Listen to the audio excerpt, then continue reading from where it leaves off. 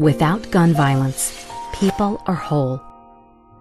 Without gun violence, families are intact.